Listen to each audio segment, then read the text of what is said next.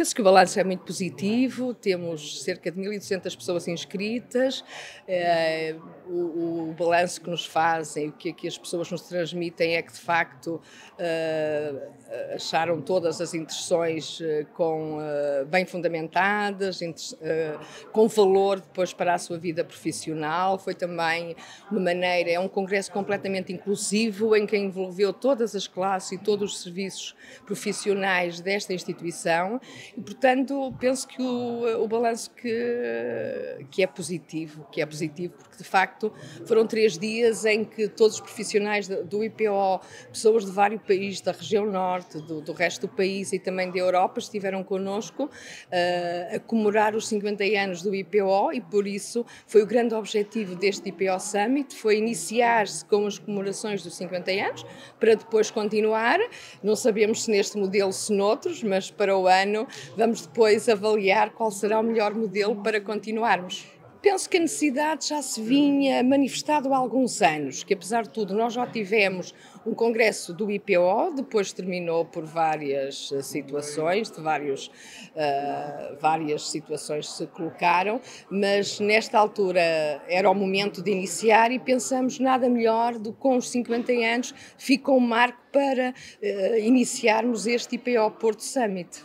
Os highlights foram muitos, desde a investigação, a inovação, a área da sustentabilidade em saúde, oncologia de precisão, uh, depois também nos vários serviços que foram uh, falando, uh, todos os serviços de oncologia do IPO do Porto, os serviços, a enfermagem, os auxiliares da ação médica, houve também uma conferência de uma psiquiatra, diretora do Serviço de Psiquiatria, a doutora Susana Almeida do IPO, que também também de facto fez como motivar os profissionais, que é um tema extraordinariamente importante em todas as instituições de saúde, porque de facto os recursos são poucos, o trabalho é imenso e para mantermos a qualidade dos cuidados e a acessibilidade de todos os doentes ao IPO, nós temos que manter o nível de cuidados. Isso muitas vezes é um nível de exigência muito grande que leva os profissionais a uma situação de pré-burnout para manter a qualidade dos serviços. Sem dúvida,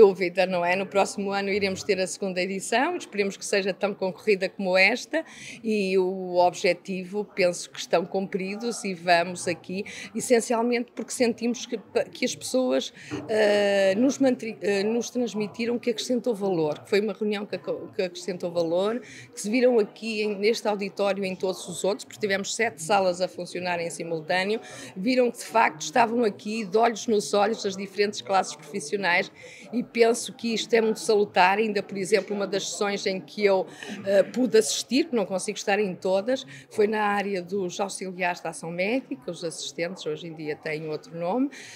e que de facto eles colocaram pontos muito importantes na humanização de cuidados e acho que foi muito bom ver estas pessoas que nunca tiveram a oportunidade de falar num congresso, vê-las ali, espelhar as suas preocupações, a maneira como tratavam os doentes, pormenores do dia a dia, mas que fazem a diferença uh, na humanização humanização e no cuidar. E penso que isso, de facto, é importantíssimo e é fundamental, uh, porque nós estamos aqui pelos doentes, de facto, é uma instituição de pessoas para pessoas e nós sentimos isso todos os dias. E para continuarmos a sentir, é preciso estes momentos, momentos de reflexão, temos momentos de motivação para podermos continuar o nosso caminho.